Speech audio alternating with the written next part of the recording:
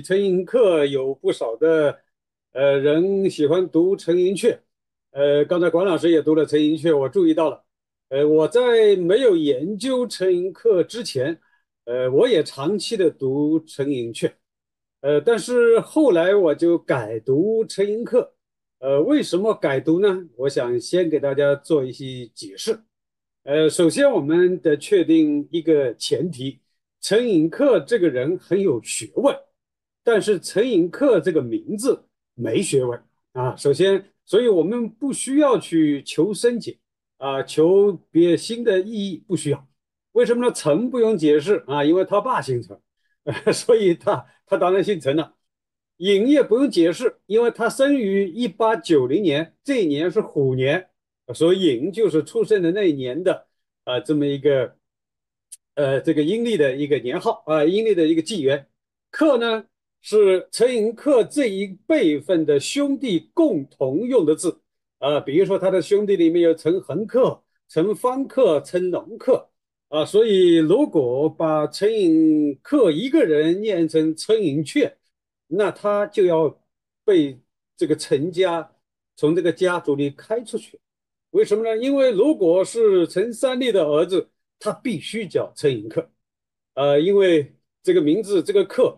他没有赋予他新的意思，嗯，因为他的哥哥弟弟啊，这个哥哥叫陈恒克、陈方克、陈龙克啊。如果念成确的话，他就意味着他不一定是他爸爸的儿子，他也不一定是他哥哥的弟弟啊，甚至他就不一定是这个家族的人。如果我们承认陈寅恪是这个家族的人，我们就要遵守中国的传统。那么这一辈他这个这一辈的这个行辈的用字就是恪字啊，所以我觉得还是念陈寅恪比较好。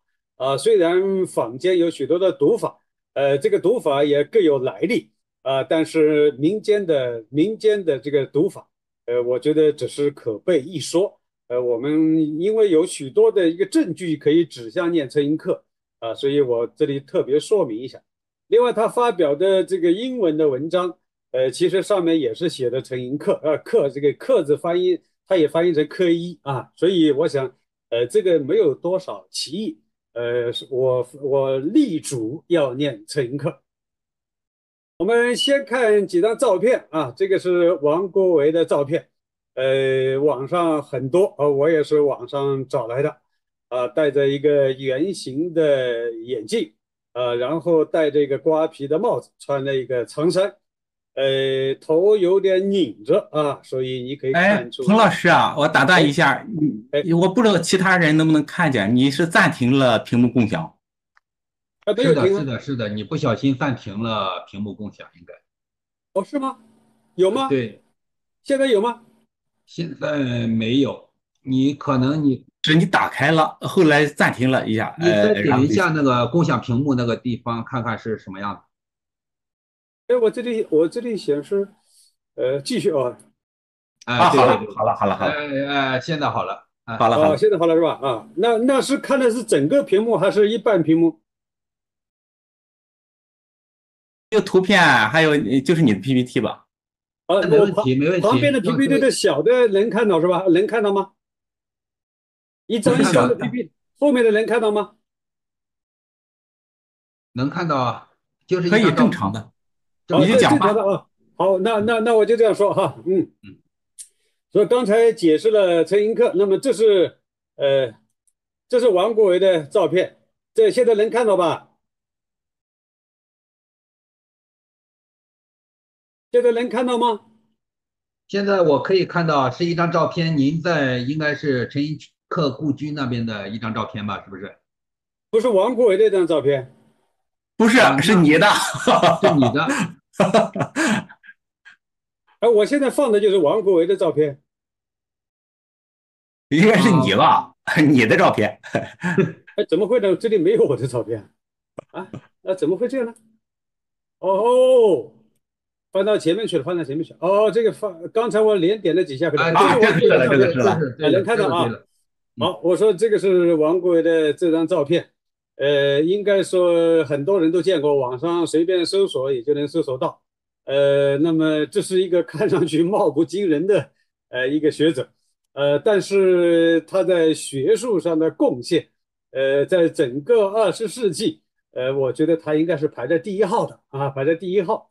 呃，如果大家看一看他的官堂吉林的话，呃，那我想我不排除这个很多人也可以在观点上给他商榷，但整体的成就，呃，那确确实实是二十世纪的一面高高飘扬的一个旗帜。呃，那么这个是王国维的故居，在浙江的海宁。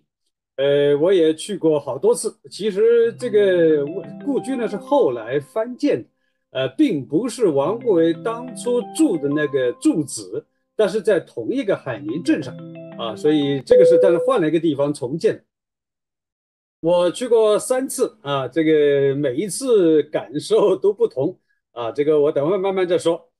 呃，这个是我在王国维故居前的合影，这个是二零零九年啊，二零零九二零一零年，也就是十二年前。呃，这个去也因为找不到很好的照片，就拿了这张旧照片来充个数。呃，这个是跟呃王国维的曾孙，也就是王仲文的孙子，叫王亮，呃合影。那么他王亮呢，就是现在在复旦大学的图书馆，呃，他也写研究王国维的文章。那么我在开王国维的会议的时候，跟他认识以后呢，呃，这个。联系挺多的啊！我最近出的一本，呃，《人间词话讲演录》，啊，商务印书馆出的。那么这个就是请这个王亮先生帮我写的序言。呃，左边这个雕像呢，就是王国维的雕像。呃，我曾经问过王亮，我说你觉得这个雕像雕的怎么样？呃，他说我觉得挺好啊。啊，我说那你觉得挺好就可以。他说你怎么为什么问这个问题呢？呃，我说我觉得这个雕像有点像徐志摩啊，啊，好像王国维的雕像不应该是这样的啊。不，但是我跟他说，我觉得怎么样不重要啊，你觉得好就可以了。那么这个是在王国维的故居里面啊，这个中间呢是二十卷本王国维全集的主编之一房新亮，也就是华东师范大学历史系的教授啊，现在好像是退休了。那么左边这个铜像呢，就是王国维的雕像。这个是陈寅恪啊，这个陈寅恪，大家有没有感觉出这幅画、这幅照片的这么一个气势？呃，他的眼睛好像看着他的左边，呃，其实他什么也看不见，因为他的眼睛这个是眼睛是瞎的啊。呃，或者说他看这个世界根本就不需要眼睛，呃，然后没有眼神，没有视力，呃，但是这个青白眼大家大概能看到啊，所以他的眼神看着他，从他这个角度来说是看着他的左边，呃，这是陈寅恪的一张坐像。呃，这个坐的背景呢，就是现在中山大学陈寅恪故居的二楼北边的阳台。呃，这个阳台至今还在。呃，然后这张藤椅呢，原原件的藤椅现在不在了。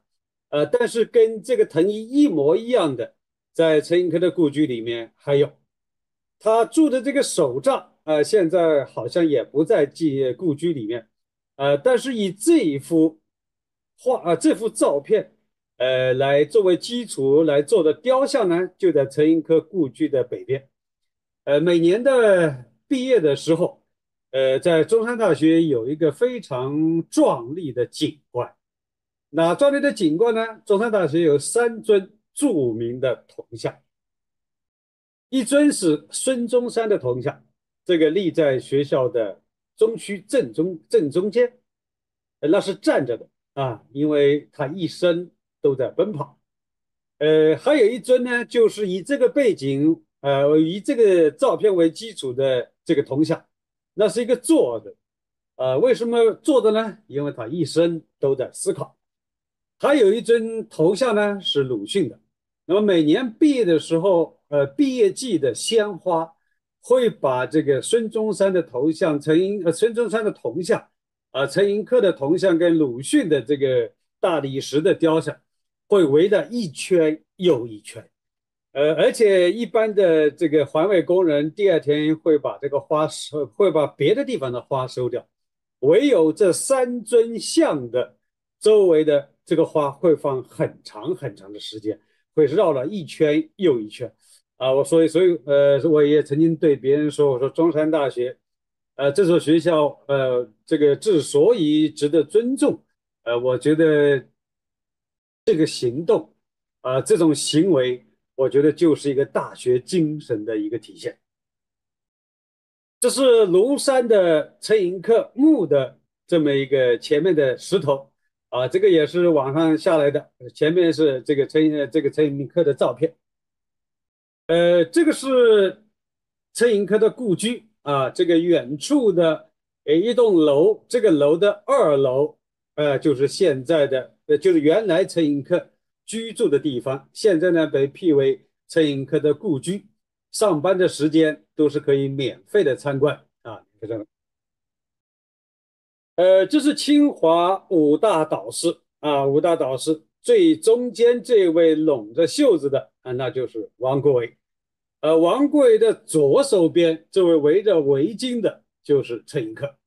呃，王国维的右手右前方啊，这个身材有点。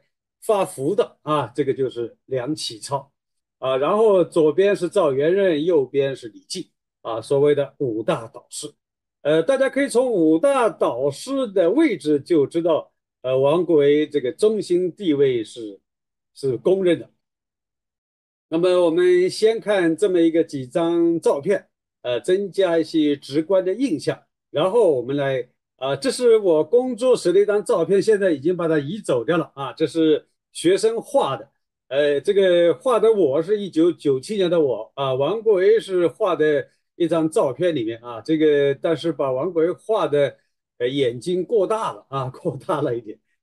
好，那么今天呢，我想主要跟大家交流六个问题，呃，第一个是王国维与陈寅恪的司仪，就是这两个人的交往，因为陈寅恪与王国维两个人同事了多长时间呢？九个月啊，九个月。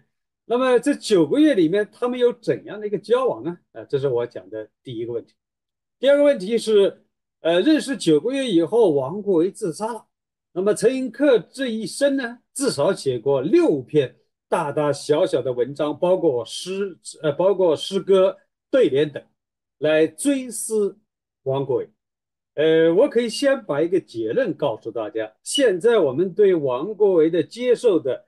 呃，特别是从精神思想方面的接受，呃，基本上是接受了王陈寅恪的这么一个定位。第三个来讲讲独立之精神与自由之思想这十个字的来历。第四个来讲一讲文化移民与政治移民，因为这两个都与清王朝都有不可分割的关系。呃，但是作为一个文化移民与作为一个政治移民，它本质上。是有区别啊，那么这个时候要讲这第五个来讲中西学术与预留观念。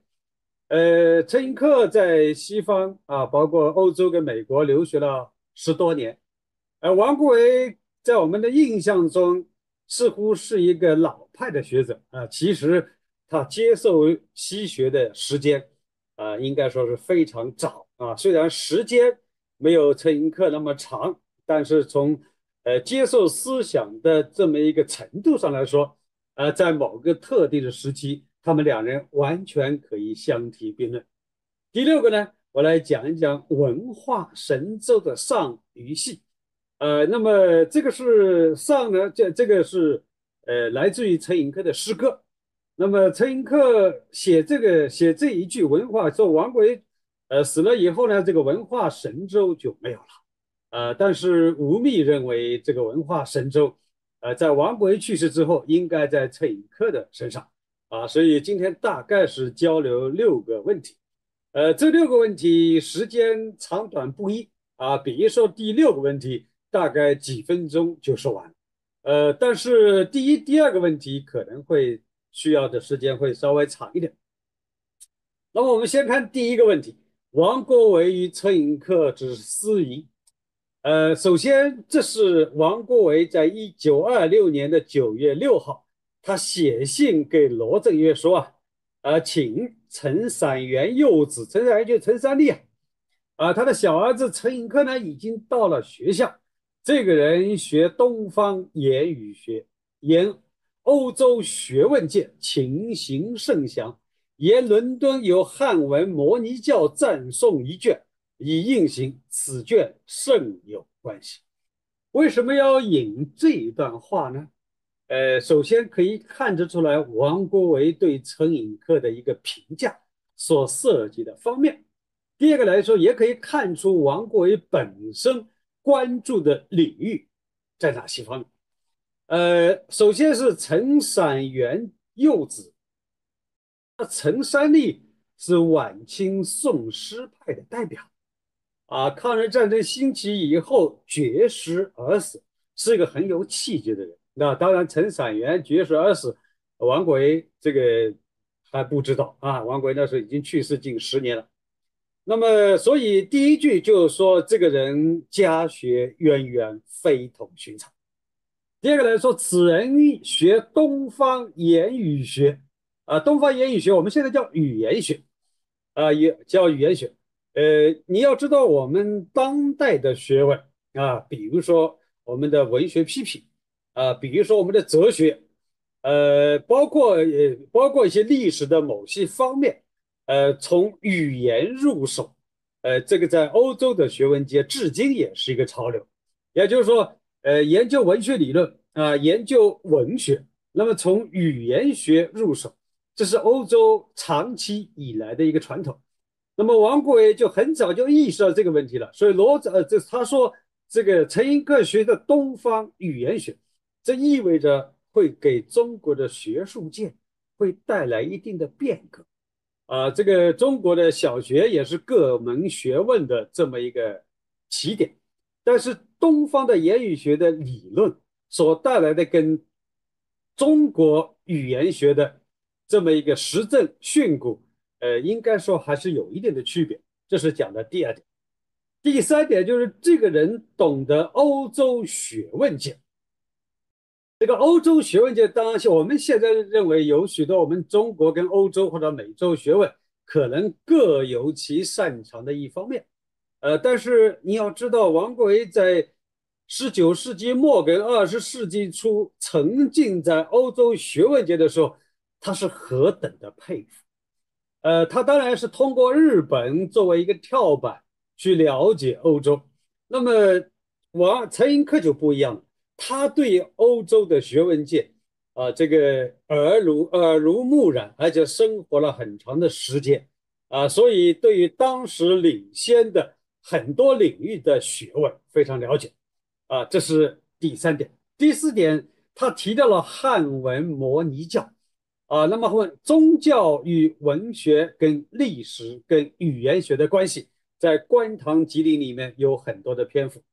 呃，这个摩尼教，这个，呃，这就说这这也是王国维所感兴趣的，呃，所以有个总结，陈寅恪的到来以后，王国维显然非常激动，啊，虽然这个陈寅恪当时在欧洲要拜访伯希和的时候，是请王国维写的推荐信，但是那时候王国维跟陈寅恪还没有见面，好，现在见面了。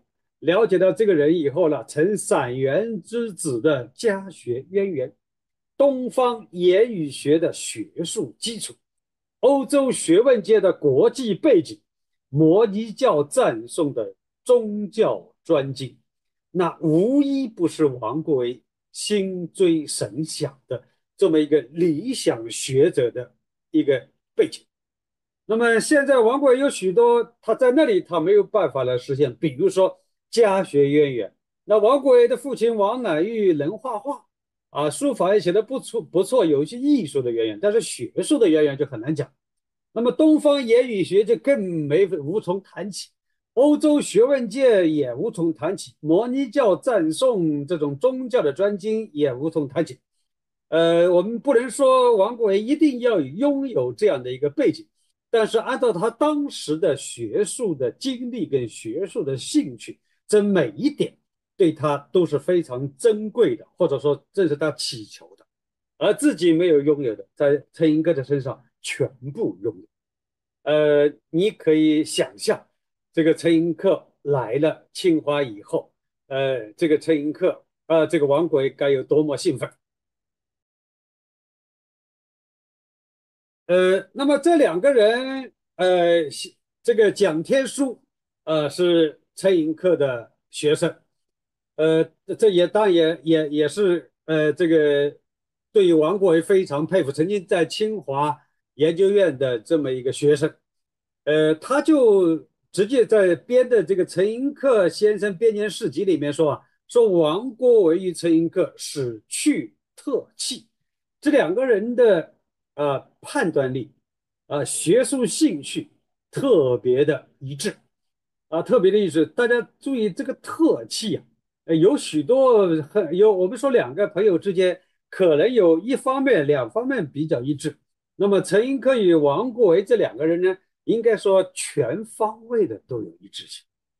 呃，比如说吧，呃，这两个人性格都很内向，啊，都很内向。内心里面都很清傲，但是这两个人在面对的对方的时候，呃，那应该是把自己放得很低。包括王国维，虽然比陈寅恪年长了十三岁，但是他对陈寅恪的敬佩也是流露在很多场合。因为失去特气可以表达很多方面，比如说他们都敬畏学术。呃，敬畏学术这个四个字我们都认识，呃，但是能不能从内心深处把这个敬畏两个字啊，这个落到实处，我觉得还未必啊，因为我们经常会读一些专著，读一些论文，呃，你会发现有的论文，有的专著，呃，它不仅没有推动学术史的发展。而且经常有退后二三十年这样的一个论文的一个出现，啊，我有的时候是很惊讶，啊，有的时候这个收到认识不认识的这个学人的证书，啊，我有时候挑着看一看，啊，或者我感兴趣的看一看，我所谓看看不一定就是王国维、陈寅恪啊，呃，而是比他其他方面，比如说诗词啊、古文，因为据我的对于学术史的了解，呃。都是一个严重的一个倒退，但是现在即便是倒退的学术，呃，只要做好宣传，一本书也能走红，啊，一篇文章也会有人在在在在这个呃推荐，所以我觉得也是一个很奇怪的一个现象。所以“敬畏”两个字我们都认识，但是要把它做好很难。第二个叫“工字厅”的行业。对谈，呃，陈寅恪一九二六年九月才来，啊，陈寅恪生于一八九零年，这年他三十六岁。刚来的陈寅恪属于大龄未婚男青年，啊，所以清华一时就没有给他分住房，他就住在办公室，这个办公室就是工字厅啊。现在这个工字厅在清华大学里面还在。那么陈寅恪住在工字厅，王国维就经常到居住在办公室的这么一个陈寅恪那里，两个人寒夜对谈，你就知道平时白天上班，他们的工作室也没离几个，没没离开多少地方啊，白天有很多的话说啊，啊，但是还不够，晚上两个人还要进行对谈，你就知道我刚才已经说了，这两个人平时话不多。平时的心理世界都不大对外开放，但是这两个人之间有说不完的话，所以你就知道我把陈寅恪与王国维放在一起讲，那是有许多的原因的。第三个是个海王村联袂桃书，海王村是哪里呢？就是现在的琉璃厂。呃，至少在上一个世纪的八十年代的后期。琉璃厂的古旧书，那还是看着人眼花缭乱的啊！我曾经啊，第一次去北京的时候，大概是也是八十年代啊，偏后一点啊，然后去琉璃厂，呃，买了四箱书呃，然后把剩下的钱全部买完了以后呢，就剩下付旅馆的钱以及回家的，呃，这个坐火车的钱啊，所有的钱都买了，因为好书太多了，你平常别的地方看不到的，海王城有。那么这两个人联袂逃书，也就是一旦到了休息日或者大家有空的时候呢，陈寅恪、王国维是一起去琉璃厂。所以我们现在，如果你注意看这个陈寅恪的《柳如是别传》，或者看他的《论在生源》，这个陈寅恪这个人很有意思，他写学术著作的时候，他会突然加上一段追忆。啊，所以我记得那一次跟王静安啊，这个在海王村啊看到某本书，那王国维说这个书怎么怎么怎么，他王国维呃这个陈寅恪会把这种平时的类似于散文描写的这种记忆写到学术著作里面去，所以这些联袂逃书也主要是陈寅恪提供了一些，当然其他人也提供了一些，这是第三点，第四点就是这两个人都是以读书。为生存的方式，也就是他们的活着主要的意义就在读书。啊。所以，我们我这个呃，今年的这个毕业的，今年上半年毕业生毕业的时候，我做了一个致辞啊，我说一等的学者，呃，以学术为事业；二等的学者以学术为职业。三等的学者以学术为副业，呃，其实第一等的学者所谓事业也就相当于生命，啊，也就是用自己的生命啊跟生存都跟这个学术是融合在一起的。王国维自己说：“毕生唯与书册为伴。”这个意思什么呢？这个意思就是在一九二七年，就是王国维自杀前不久，北伐军一路北上。那有人就劝王国维到外地躲一躲，其中有一个山西的学生，就建议呢，这个王国维去山西大学任教。那么，这个王国维这个就说山西大学的藏书怎么样呢？啊，这个学生说藏书不多啊。他说藏书不多，那我怎么去呢？再说我走了以后，我一我这辈子一定要跟书册为伴的。没有书，我去这个地方干什么呢？呃，然后王国维的学术与下面的大云书库、密运楼藏书、大类藏书密不可分。也就是说，王国维读的书，读了很多别人读不到的书。大云书库呢，是罗振玉在日本京都建的大云，他的他的藏书库。啊，所谓大云，因为他藏了一个北魏的一个大云碑。啊，被踏啊，被所以呢叫大云书库。密运楼藏书呢，啊，这个是上海藏书家的一个藏了很多宋元本的啊这么一个藏书楼。王国维呢帮他编的这个密运楼藏书目。大类藏书呢是说清王朝灭亡以后呢，原来藏在故宫里的大量的历朝的各种文献，然后就流出来了。流出来以后呢，罗振玉呢就把它买下来了啊，买下来。当然后来还是嗯分解到很多地方去了。那么罗王国维也是第一批的读者。那么陈寅，我这是王国维的情况。陈寅恪在哈佛的时候就被认为是读书最多的人。呃，你如果看吴宓的日记啊，尤其是这个吴宓记载跟陈寅恪聊天的时候，陈寅恪的知识面是非常广的。啊，你不要认为他读的都是学术书，很多社会书，包括江湖的八卦，他都知道，是？所以陈寅恪读书之广也是被公认。说这两个人为什么能够世去特气呢？因为他们两个人都是本质上的读书人。那么王国去世之后，这个呃，清华要举行告别仪式。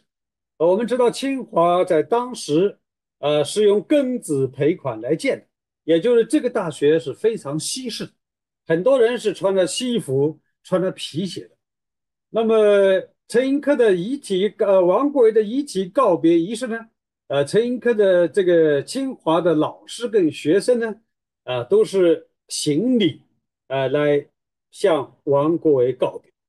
陈寅恪来到钢饼寺前，对着王贵的遗体是三跪九叩大礼。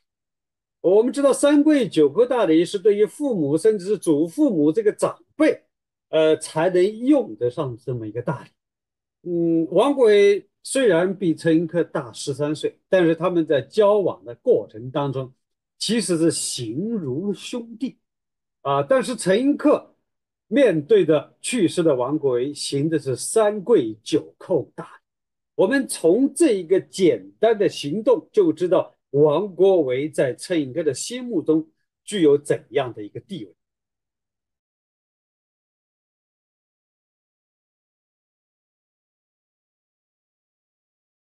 好，这是我讲的第一点。第二点就是说的王陈寅恪对王国维的追思。从一九二七年到一九五三年，王国呃陈寅恪写了六篇相关的文字，呃语境各有不同，但都涉及到王国维啊。比如说对科学院的答复，呃其实是他本人的答复，但是它里面大量的是对于王国维的精神的一个传承。所以他写了挽联啊，这个挽联至今，呃，藏在清华大学的博物馆里，呃，曾经在前若干年拿出来展览过，呃，我也去看过。他写了挽诗，写了挽词，挽词就是王观堂先生挽词并序，写了碑铭，也就是写了王建安先生纪念碑铭。那么这个碑呢，至今立在清华大学的里面，就在。工字厅的左前方不远处，他写的序言，那是一九三六年，呃，赵万里重新编了海宁王敬安先生遗书，那个序言是他写的。所以从一九二七年到一九五三年，在长达二十六年的时间之内，王国维一直是陈寅恪心中盘桓的时间最久。啊，留下的烙印最深的一个人。我们看他写的晚年，说十七年家国九魂销，游于圣山残水，流于泪成宫已死。五千卷牙签新手处，待见玄文奇字，谬曾一命被伤神。呃，我们可能对。陈寅恪的王观堂先生挽词并序比较熟悉，呃，尤其是前面的序言，呃，前面的序言的核心的意思就是关于王国维为什么自杀的原因的探讨，呃，得出的结论呢是王国维寻中国文化说，呃，但是我们看晚年，十七年家国九魂销。这一句话，其实他要表达的是王国维是寻亲而死。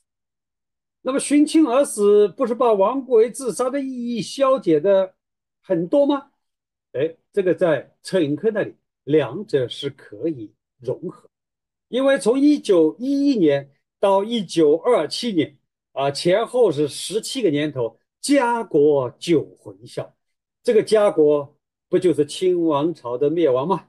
啊，所以由于圣山残水，流于内城宫已死，这不是明明白白说王国维自杀是因为清王朝覆灭了，现在忍受了十七年，忍受不下去了啊，所以以死来寻清王朝，这是不可否认的。王国维要陈寅恪本的意思。其实我们看他写的王观堂先生挽词，开头跟结尾。也都是表达的寻亲的意思，所以我说啊，这个陈寅恪关于王国维之死，其实是寻亲说与寻文化说两种的这么一个融合，呃，当然有阶段性的不同，最早是认为寻亲说，后来会调整啊，后来会调整。然后我们看最后一句，叫谬曾一命被伤身。呃，谬成就是王国维遗书里面啊，有一句说：“书籍可托陈吴二先生处理。陈呢就是陈寅恪，吴呢就是吴宓。那么陈寅恪说：“谬称一命被伤神。”如果大家记得我 PPT 上刚才说的，这两个人是把读书当做生命的。那么一个人临，对于这样的一个学者来说，他在去世之前，他最看重的，也就是这些书籍的命运。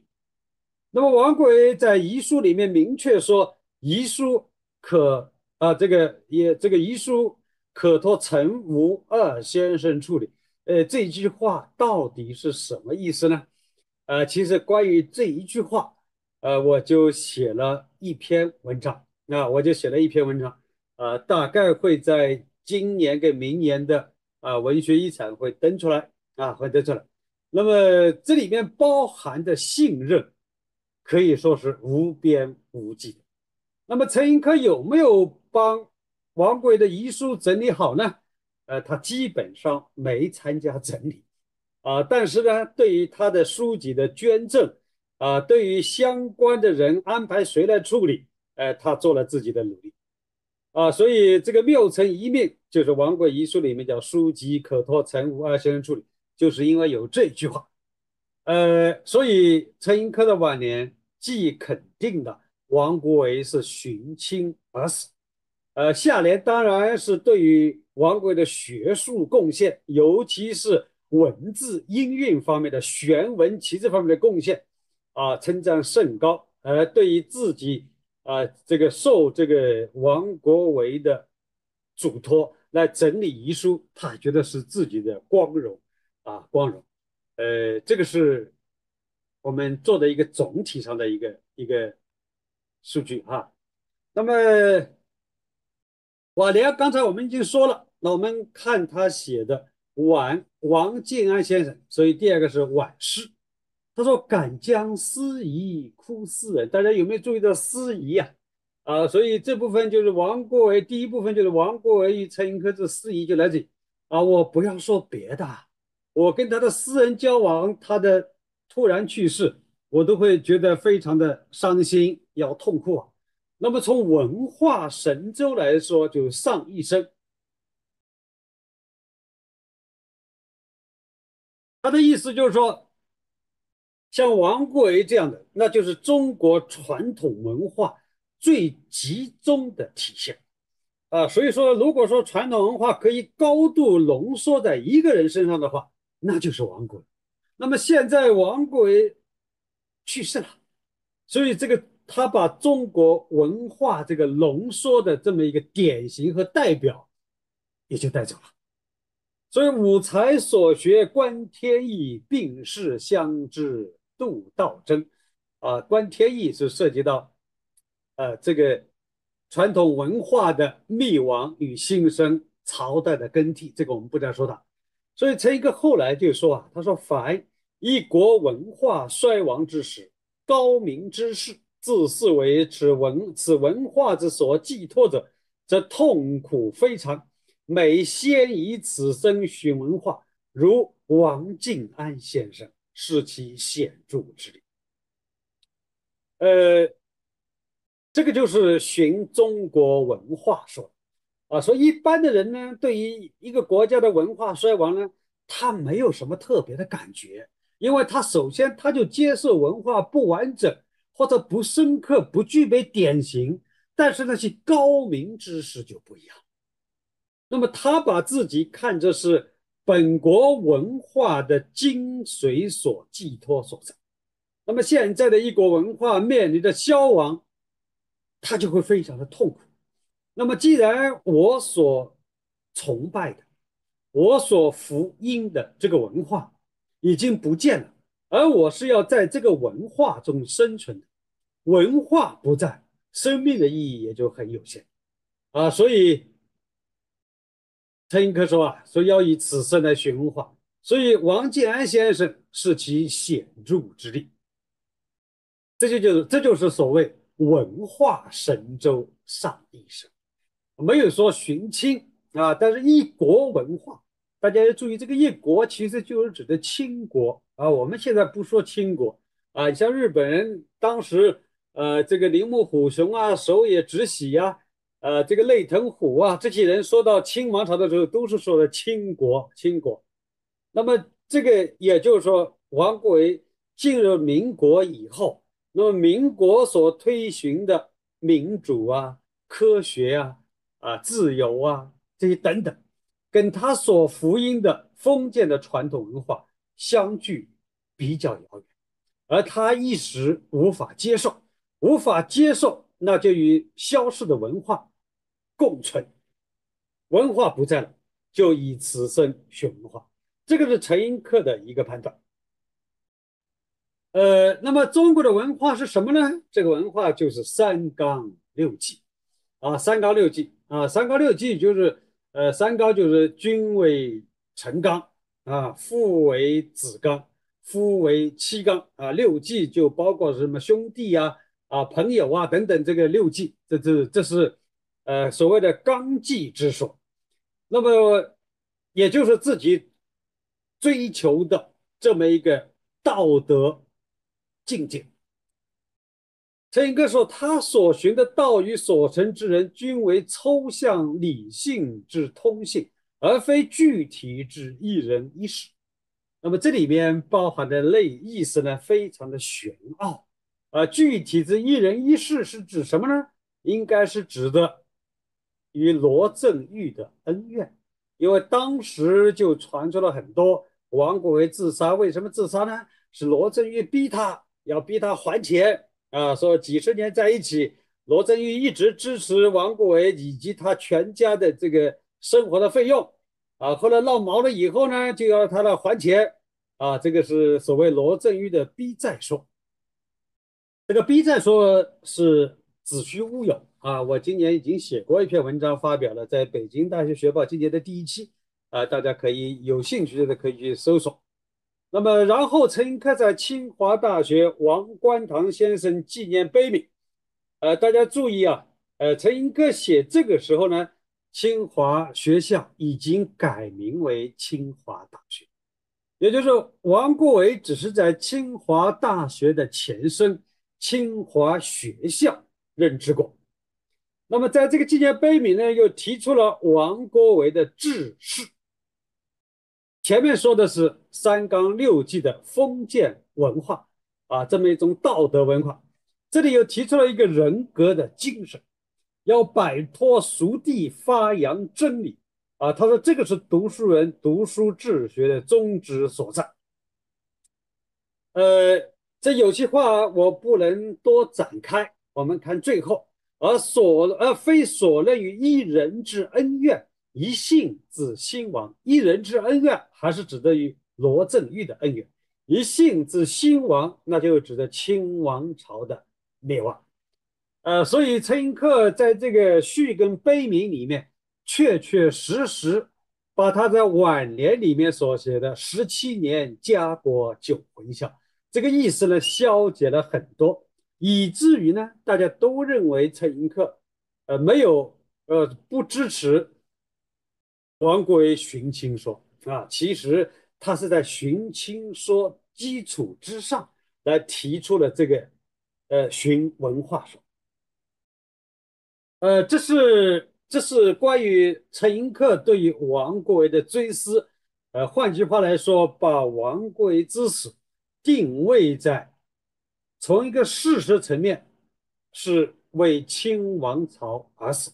因为王国维所信奉的文化与精神，都是一种封建社会所传承下来的，以三纲六纪为核心的传统道德文化。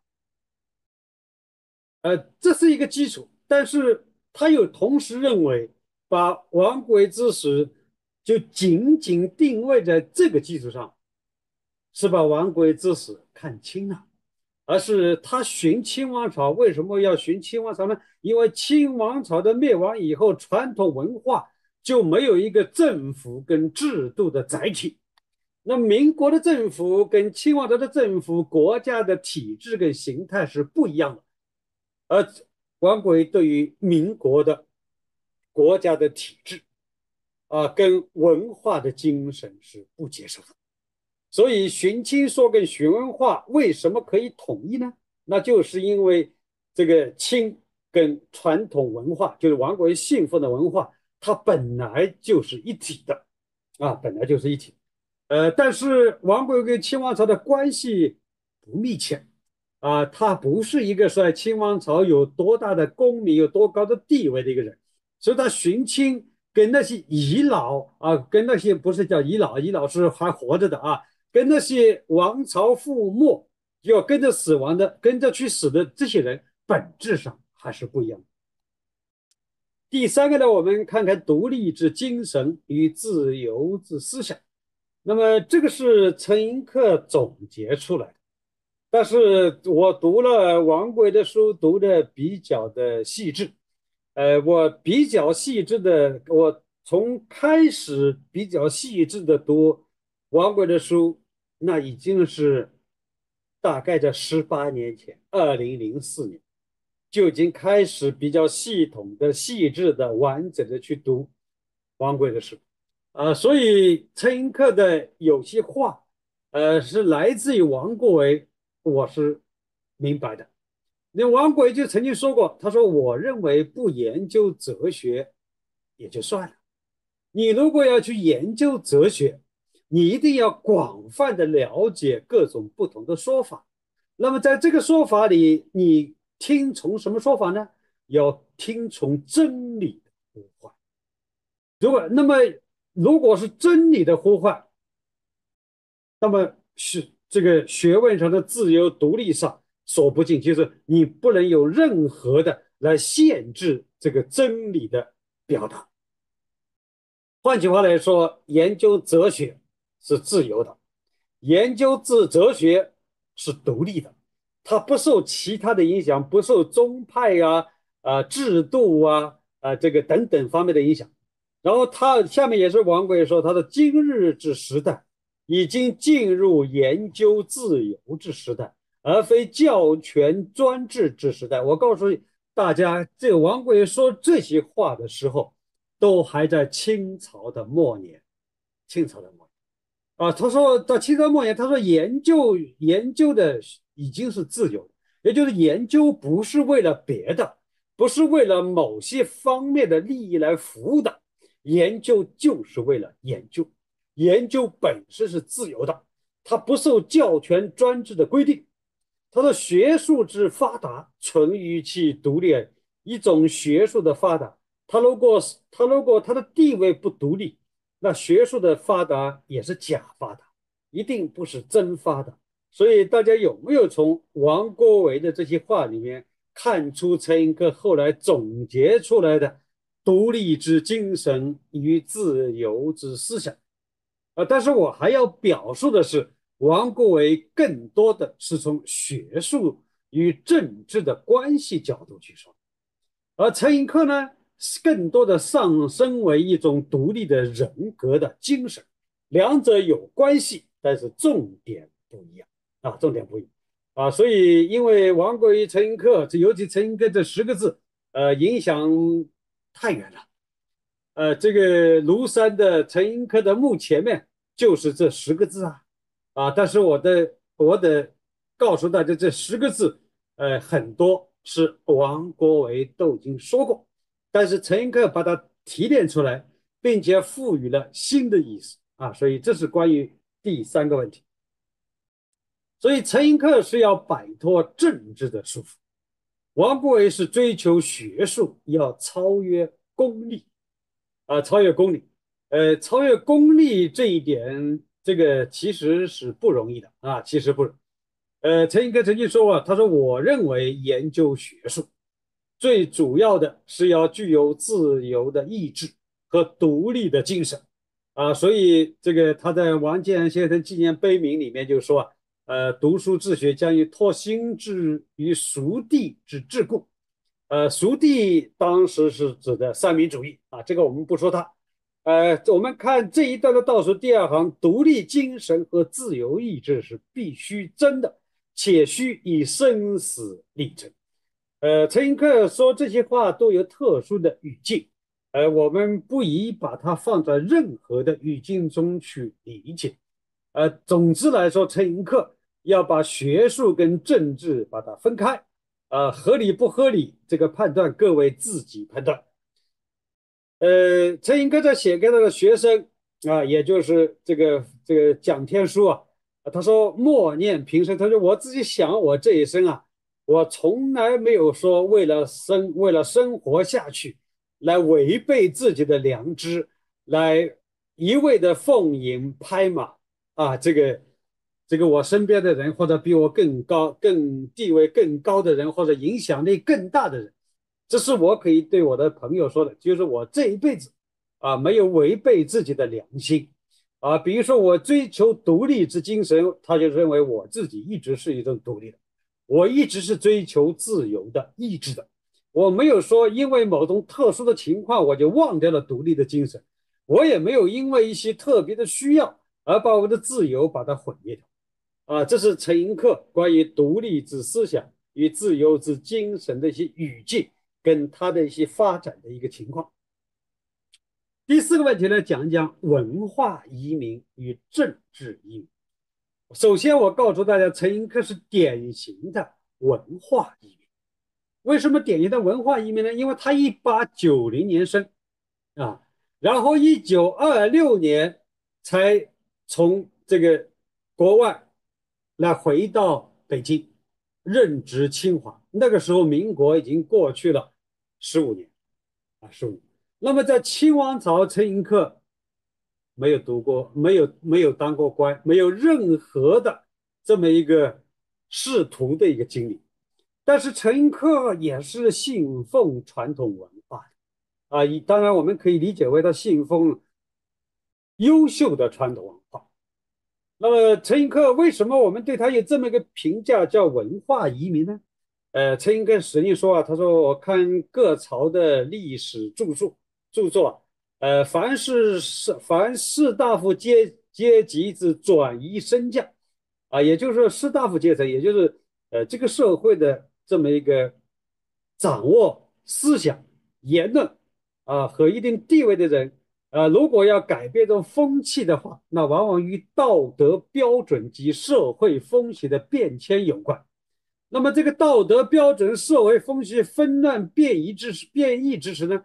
这个词转移升降至士大夫阶级之人，有闲不消，拙巧之分别。好，我这个不再念，我来给你解释，也就是当。其实就是一代之际，比如说清王朝灭亡，民国建立，这就是一个，呃，这个道德标准、社会风气所谓纷乱变异，朝代更替的时候，那么这时候的士大夫呢，就会呈现出两种不同的类型，一种是贤，一种是不肖，一种是拙，一种是巧。那么贤者拙者，贤就是推崇中国文化的人，拙者呢就是固守中国文化的人，传统文化的人就会经常感受到痛苦。呃，那么要感受到痛苦，你有没有办法来改变这个易代的事实？那怎么办呢？只能把自己灭掉。啊，这就是李煜的《虞美人》啊，“春花秋月何时了？”呃，很多人都觉得这首词写的很好，啊，春花秋月何时了，知名度也很高，啊，但是我在看了很多的这个本子以后，我发现，呃，这一句知名度很高，但是透明度很低。为什么透明度很低呢？因为这句话里面表现的是要把自己消灭掉。所以汤圭章先生了不起呀，呃，他凭这个。春花秋月何时了？汤圭章评说：“这个是但求速死，就是希望自己早点告别人间，但求速死。”李煜被俘，没有尊严，备受侮辱，呃，求死而不能，所以看着春花，看着秋月，他非常痛苦。因为这个花跟月都不属于自己呀，啊，所以这种情感是很特殊的，呃，很特殊的，啊，本来嘛，啊，春花啊，春天的花五颜六色，花团锦簇，那是美的象征。啊，秋天的月亮呢，明净高华，也是大家欣赏的一个对象。但是，但是李煜说啊，什么时候能够结束这个春花跟秋月呢？呃，大家肯定明白，春花怎么能结束呢？结束了，明年春天又来了，秋月怎么能没有呢？啊，今年的秋月下去了以后，明年的秋月还会来啊。那么春花秋月既然不能了，那你又想它了，那只能把自己了掉。所以这里面的“总与消灭而后已”，其不消者巧者，不消者就是，嗯，这个这个 这个就是，呃，就是怎么说啊？就是要葬送这个传统文化。巧者呢，就是所谓的。与时俱进，啊，忘记自己的信仰的这些人，这些人呢，反而是享受快欢乐、富贵荣显、生态名水。呃，所以大家明白明明白没有？一个历史学家，他看待代代相传的历史，看出了在一代之际的两种两种人群，他们的选择。其实就是一种道德标准的选择，啊，你要做一个要做一个传统文化的坚守者，呃，你可能要付出生命；你要做一个忘怀传统文化、与时俱进这么一个趋炎趋炎附势者，嗯，那你可以是声享功名、富贵荣华。所以历史学家不是不知道，而是他们的选择不同而已。那么陈寅恪说这一段，当然是从王国维说起的，啊，王国维说起的。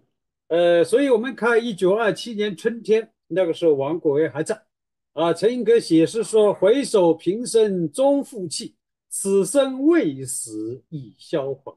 人间不会孤游意。”归去寒气自闭。呃，他说，二七年那个时候，陈寅恪才三十七岁，也就是来清华工作还不到一年，也就是半年多一点。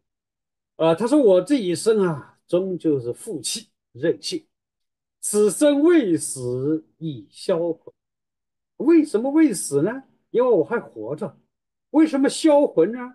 因为民国的这么一个环境。不是他想待的环境，所以等于精神已经死了。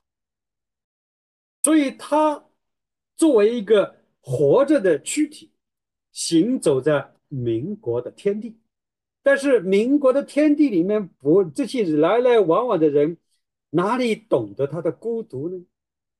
所以回去以后啊，他在外面出游，回去以后呢，啊，满含着悲凉，把自己关起来。所以陈寅恪对于清王朝的覆没也有感觉，也有感觉。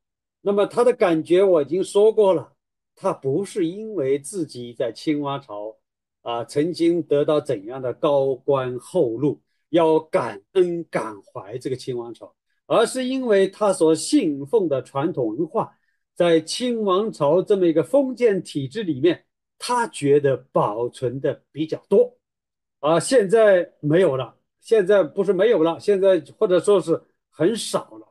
那么这样的一个文化的氛围，不是他祈求的一个氛围，所以他要在人，他既生活在人间，又抗拒着这个人间，所以归去寒栖自闭门，门一关，把门外的世界都关得远远的，这是他的意思。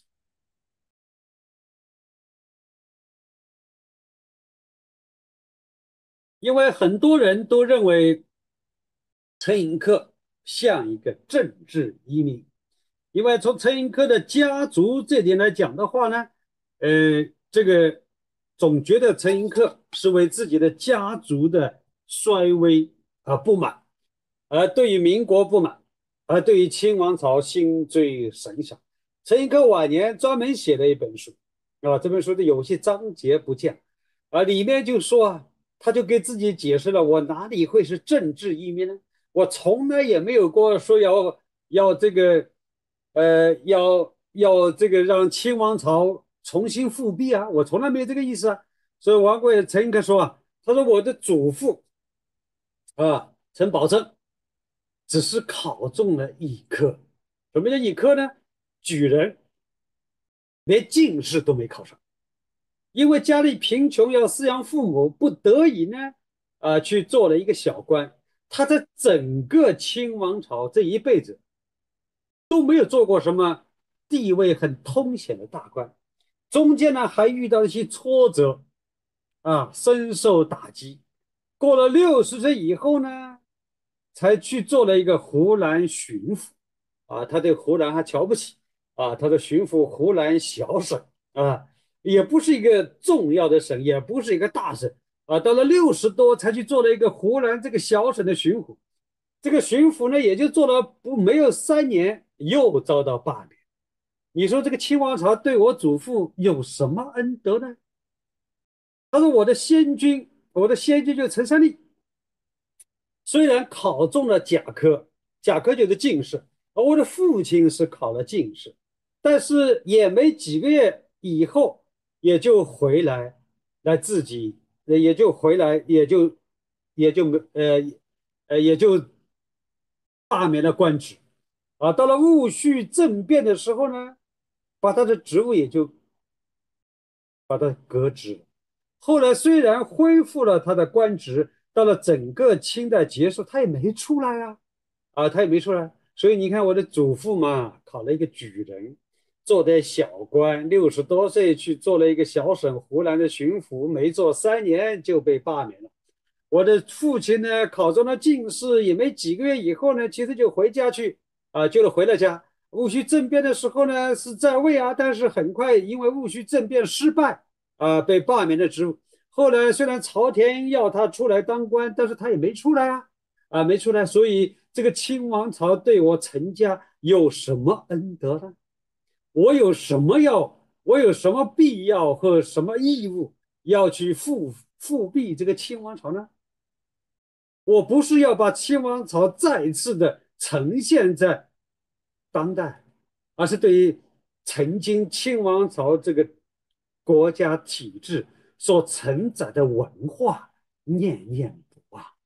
所以陈寅恪等于告诉大家。我是一个标标准准的，无论从历史还是从现实来说，我都不过是一个文化移民而已。呃，陈寅恪这么辛苦的自我解释，我已经说了，很多人都说他是一个遗少，啊，是个遗少，跟遗老遗少呢就合成了一个对清王朝满怀着感恩之情的这么一个类型的人。陈寅恪主动的。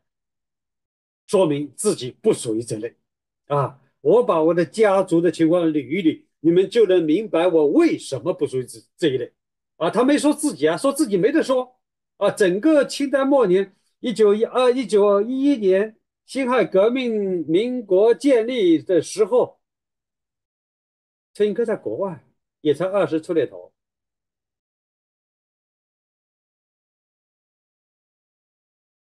那么王国维呢？他就兼有文化与政治移民的双重身份，啊，也就是王国维在政治思想上比陈寅恪是要复杂一点。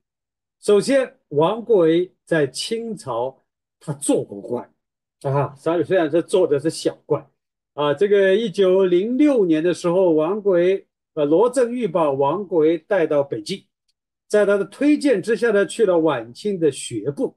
也就是我们现在是现在类似于教育部，呃，去做图书局的编译，呃，图书局编译是什么呢？就是编中小学的教材。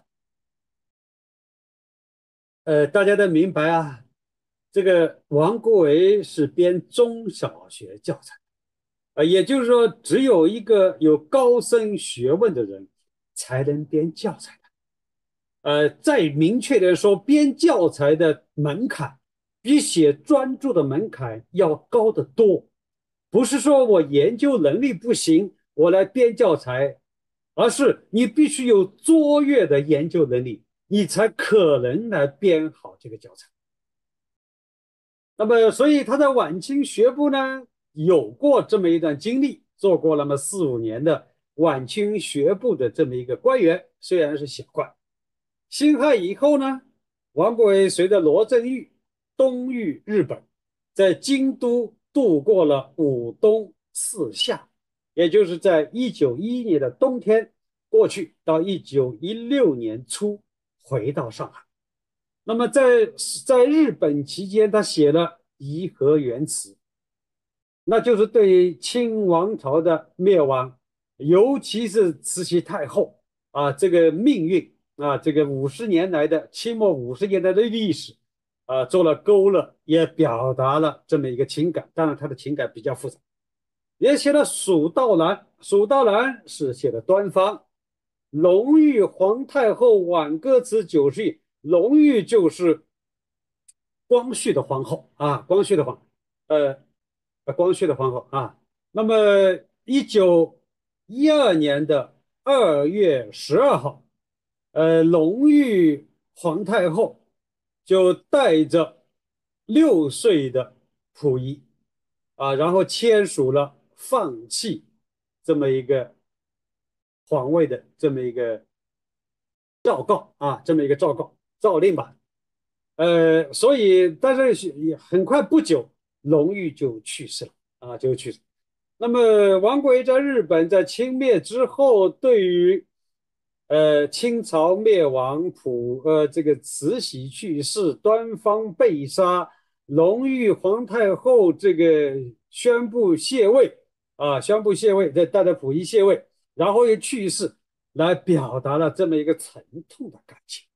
这都是有具体的对象的，啊，具体的，所以里面的政治的色彩是不可避免，啊，这是刚刚民国建立之后，王轨写的这些作品。那么到了一九二三年的时候，王轨当时在上海，因为孙勇一个蒙古族的一个亲人的一个一个。原来也是个重要的一个军事的一个首领，叫孙勇，推荐呢，就担任了南书房行走，也就是给溥仪啊，呃，去辅导他读书，啊，辅导读书。那么这就是王王国维在晚清学部当官的时候呢，跟皇帝还没有直接的关系，但是到了他担任南书房行走的时候，与训亲皇帝。溥仪就发生了直接的关系，这就不一样了。而且溥仪对王国维呢又非常欣赏啊，一年不一年多一点吧，就授他为紫禁城骑马，这是五品才有的这么一个待遇。而南书房行走呢，在明清两朝必须是翰林学士才能去做皇帝的导师。那么整个清王清朝。只有两个人不是翰林学士，去做了南书房行走。这两个人都是浙江人，一个是朱彝尊，一个是王国维。所以在传统的封建的知识分子的心里面，自己没有这么一个翰林学士的身份，但是拥有了这个皇室或者皇帝的重视，那都看那都会被看着是一种格外的荣幸。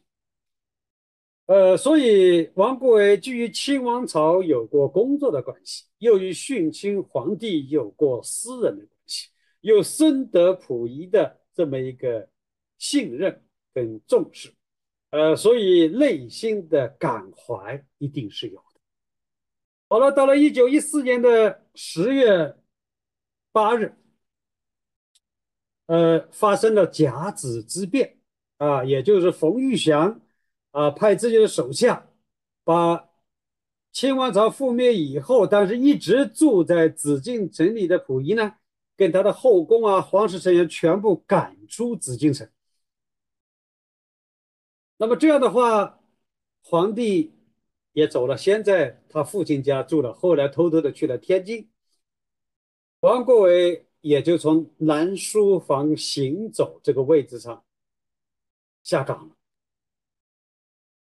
那么王贵的学问很好，当时清华学校成立了国学研究院，所以这个不少人就推荐，包括胡适，就推荐呢，让王国维去清华学校担任国学研究院的导师。王国维一开始并没有答应，他就担心我担任了你清华学校国学研究院的导师，你我要担任的不要以后限制我跟溥仪的来往啊，所以如果你要限制我跟溥仪的来往，那我就不来了啊。后来清华告诉他，你在这里就是教好学生，至于说教学之外你要跟谁来往，没人限制你啊。这样的话，他才答应。那么到了一九二七年的时候，当时溥仪在天津，王国维在北京。那么他自杀以后，罗振玉就代王国维拟了一个奏章给溥仪，呃，给这个给溥仪。这个溥仪呢也没有意识到这是罗振玉伪造的，啊，所以这个伪罗振玉呢也很了解王国维，他们两个虽然闹毛了啊。虽然闹毛了，但是，呃，当罗振玉知道王国维去世之后呢，内心里面还是非常的愧疚，所以总觉得要帮王国维做点事，啊，所以就杜撰伪造了一个奏章来送给，而溥仪呢，就看完了以后非常相信，所以又下了一个诏书，啊，里面说应旨拨迁啊，拨迁这个，呃，皇帝不能说赶走，只能说拨迁。呃，因为我要去了天津，所以王贵呢留京讲学，上不时来京招对，招对，依恋出于至诚。也就是说，溥仪对于王国维对自己的感情是充分的认可，所以王国维有一定的政治移民这个身份是有的，但是，呃，王国维的政治移民的身份是并不彻底的，你只要。注意到他跟罗振玉两人的交谈啊，包括书信的往来，你就知道罗振玉是一直要复辟的。而王国维呢，这个事情虽然给在复辟的事情上跟罗振玉也有沟通，也有信息的交流，但是他从来就没有把自己摆在复辟的第一线。而罗振玉只要有机会，那就会冲在第一线。包括张勋复辟之前啊，这个他也。曾经从日本回国，啊，后来这个日本人扶植，呃，这个满洲国，那这个罗振玉也去担任了监察院的院长。呃，至于罗关于罗振玉为什么要替王国维啊这个伪造一封奏章送给溥仪呢？呃，我觉得是出于来把。王国维去世，往寻亲方面去做引导，同时也希望王国维之死能够得到殉亲朝廷的充分的尊重，啊，所以有很多人，包括学术界也有很多的文章跟著作，啊，对于罗振玉伪造这个奏章，啊，帮王国维奏章，他说是为了自己的利益的一个考虑，呃，我不这样认为啊，这个几年前我曾经写过一篇。叫罗振玉伪造杜撰王国维奏章考论，这个是发在江淮论坛上的。呃，我对于罗振玉，呃，他跟王国维闹矛盾这个事情也有分析啊。这个伪造的奏章，我觉得出于诚意的居多啊。好，第五个问题是中西学术与预留观念。王国维在一九零零年的时候。下半年就曾经到日本留学，那么日本留学不到半年他就回来了，呃，为什么回来呢？他说有脚气，啊，有脚气就不能留学，这个理由好像说的有点大家难以置信啊。后来我一查，王国维读的是东京物理学校，我估计他的物理跟我一样读不下去，啊，读不下去那就找个理由不读了。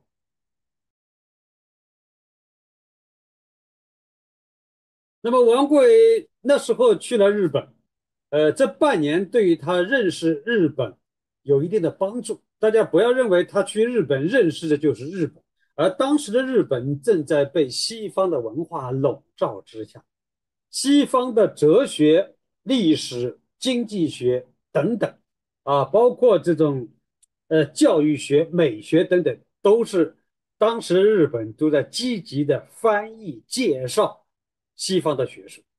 那么王轨在日本有近半年的耳濡目染，啊，回来以后呢，他有一个日本老师叫藤田丰八，啊，又直接的引导他去读德国的古典的哲学，比如说康德、尼采、叔本华，啊，当然还包括席勒等等。呃，但是毕竟要说，王国维主要是通过书本来认识西方。那么陈寅恪，这是实地的感受着西方文化。那么王国维认为中学为体，西学为用啊，这个大家是可以理解的。那么陈寅恪在西方待了那么久，呃，他持的立场也是中学为体，西学为用啊。这我们知道，辜鸿铭啊，啊，这个留学英国是很早的，呃，但是他回来以后，他又回到了中国的古典，回到了中国的封建文化的语境当中。啊，所以中国文化的渗透力啊是非常强的。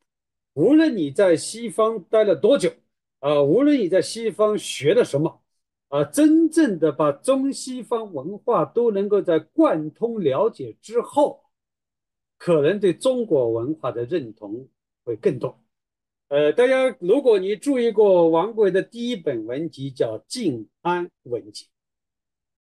这个《静安文集》里面有许多是王国维分析西方的这个哲学、美学思想的这么一些文章，呃，你读他的文章，你就能发现他的一个写作的一个基本思路。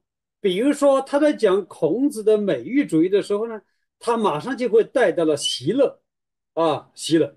他讲叔本华的哲学的时候呢，他马上就一句话说：“横诸我国亦然。”啊，如果对照我国也是这，所以我就想到什么呢？我就想到了在三十岁的时候啊，他写过一篇自序，啊，这个他说啊，呃，这个最近呢读西方的哲学，他觉得可爱者不可信，可信者不可爱。什么叫可爱呢？那种逻辑的论证，那些优美的文词，这个语言读起来是种美的享受。但是仔细一琢磨呢，你说的好听，跟事实觉得不是那么回事。可信则不可爱，自己觉得相信的东西呢，又没有办法能够论证到像西学的那么一个圆融的境界啊，圆融的境界。呃，所以到了一九一四年的时候，当时王国维在日本，他给当时在上海的沈承直写了一封信。这封信的核心意思呢，就是说。我早年花了很多的时间去研究西方的哲学、美学、伦理学、教育学。我学了好多年以后，我才发现，凡是我能够认同的，也都是我们先秦这些思想家所阐述过的；凡是我不能认同的，恰恰是我们这个西方这个恰恰是我们的呃这个早期的思想家。所反对的，啊，所以他觉得中西学问在做了一个盘桓以后，啊，他觉得没必要去读西方哲学啊，我读中国哲学是一样的，啊，凡是西方比较可信的，跟中国的哲学都是可以相通的，凡是不能通的都是没道理的，啊，都是有问题的，啊，罗王轨的这个判断，呃，我们当然可以给他新的判断，啊，也就是说对于王轨的判断，我们再加判断。但是王国维自己的认识就这样，他写这封信给沈承直，无非是表示自己要回归到中国的古典，觉得自己用了那么多年的精力去学习西方的哲学、思哲学美学，有点浪费时间。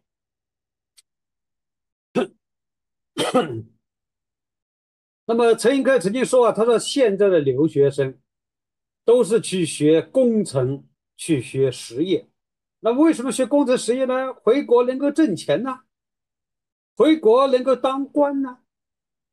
那么他不肯用力学问之一的，你要学学这个哲学、史学、文学，这又不能挣钱，也不能当官。所以既然不能挣钱，也不能当官，所以留学生不肯去学这个呢？但是他们不知道实验以科学为根本啊。一个国家无论科学怎样的发达，那如果没有一种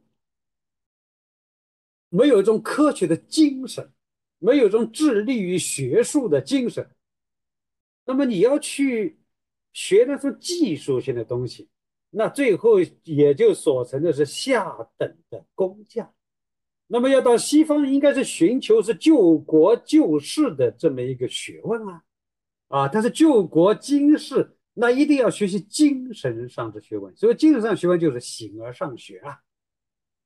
所以你要学国外的东西，你不是学那种技术工程，不是学这个，你应该首先要改变一国的理念，要拯救。这么一个民众的这么一个思想，所以你首先要思想跟文化的革命，才能带来科学的革命。陈寅恪就很感慨啊，留学生当时是这样的情况。那么这样的情况，其实王国维说的更早。王国维说，海外的留学界又怎样呢？啊，所以大家不要认为 王国维就是一个曾经在中国古典的啊这么一个文史世界中的这么一个。老学究啊，在清代的末年，他曾经是走在向西方学习、探求救国济世真理的第一证言的人啊。王贵在《教育小言》里面说：“他说，海外的留学界又怎样呢？同治跟光绪初年留学欧美的人都去学海军制造。为什么学海军制造呢？因为一八九五年甲午海战。”中国输了，为什么输了呢？军舰不如人，大炮不如人，所以把这个军舰支得牢牢的。这种实用跟功利的目的，他觉得很成问题。再其次，学法律，那么就是纯粹的科学，就是文史哲啊，这个要去学的呢，还没听说过。啊，能够接，能够去学习欧洲人那种深邃伟大的思想者，我可以肯定一定没有。所以近年来的留学生啊，出为什么出国呢？或者抱着当官的野心，或者抱着挣钱的目的。大家现在明白没有？陈寅恪对于陈寅恪支持留学生的判断，跟王国维在清末对留学生的判断是一样的。换句话来说，为什么这两个叫士去特气呢？因为他觉得都跟着西方学这种技术工程的东西，那是简。首先要首先要进行的是思想和文化的革新，这是一个层面的意思。第二个来说，王国维曾经说过：“古来新学问起，大多由于新发现。”呃，这句话为什么要放在这里呢？因为王与王与陈寅恪的预留之说，呃，其实有非常一致的地方。呃，稍等，稍等十秒钟啊。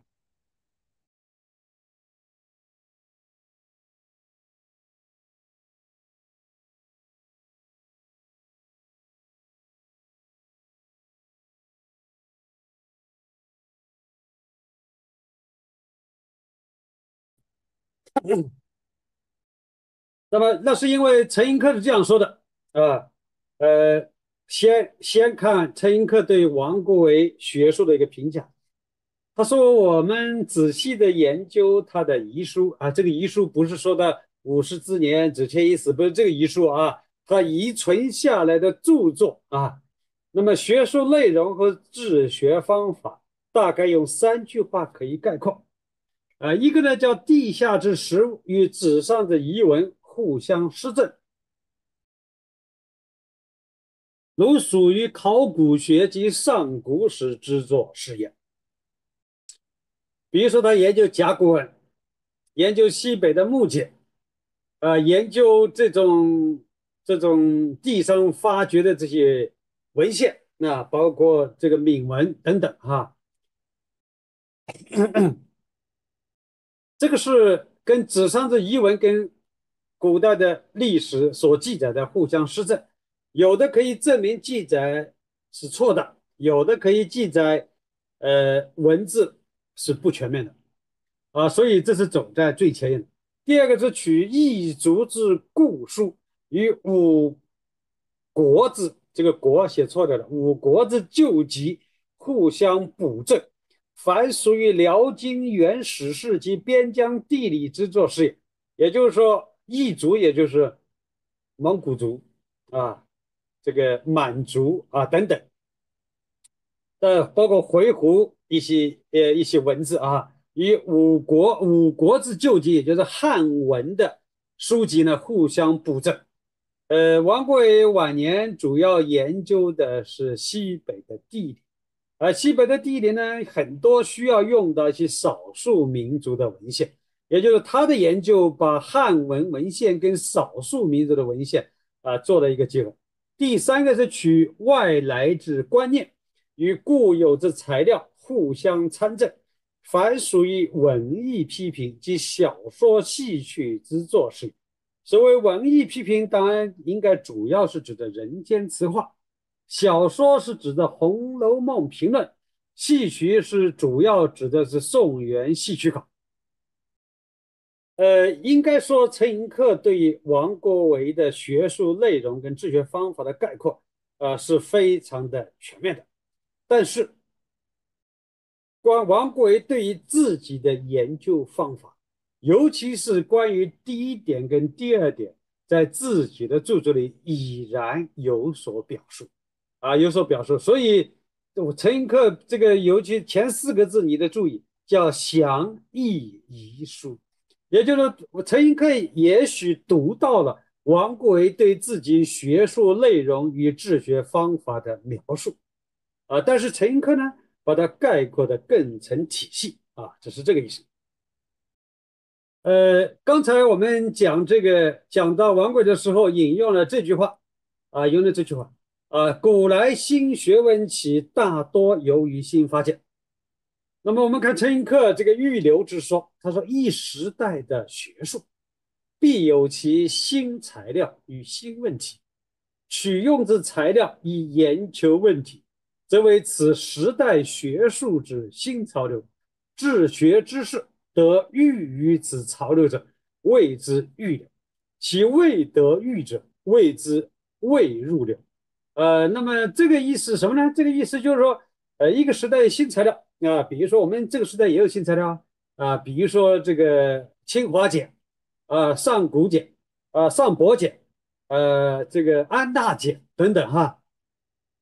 那么这些简帛的出土啊，包括楚帛书啊等等，那么这些简帛的出土，往往带来对古代的。历史文化的重新判断，啊，所以凡是能够及时的利用新材料来研究问题的，他说这个叫预留，就参与到最前沿的学术的意思。如果没有能够参与到，那个就叫未入流，而未入未入流，不过就是没有参与到前沿的学术。呃，陈寅恪并不是说未入流就一定不行。啊，他只是说有学术的新潮流啊，他鼓励这种新的潮流，所以陈寅恪这个利用这个宗教文献啊去研究中古史，他也与当时新发现的文献有关系，比如说研究敦煌，那敦煌也是新发现的文献啊，敦煌有，呃，所以这个是呃陈寅恪与王国维对于一个时代的学术的一个。基本特征的认同可以说是相同的，啊，我一再的把陈寅恪与王国维相近似的话放在一起来对照，无非就是说明蒋天书说陈寅恪与王国维是去特气，不是随便说的，他能得到很多的证明，在王国维那里偶尔表现出来的或者还比较散乱的思想。到了陈克里呢，就把它捏出来作为一个标杆，或者构成了一个系统思想。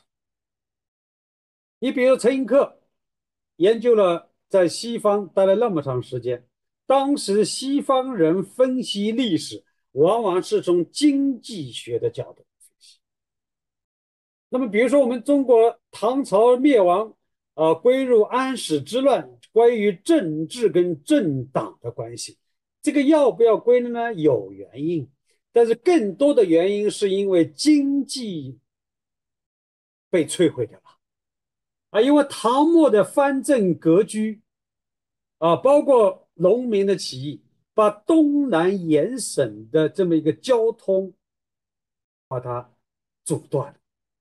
而东南沿省又是国家的经济命脉所在，交通阻断了以后，东南方向的财富就运不到北方去，所以北方也就支持不住，经济垮掉了，也就带来了政治的垮跟社会的垮。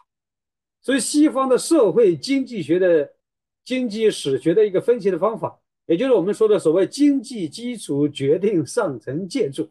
啊，这是我们现在能够普遍接受的一个思想，但是在陈寅恪的那个时代，他从西方学了以后，然后来分析，他不是研究唐代的历史吗？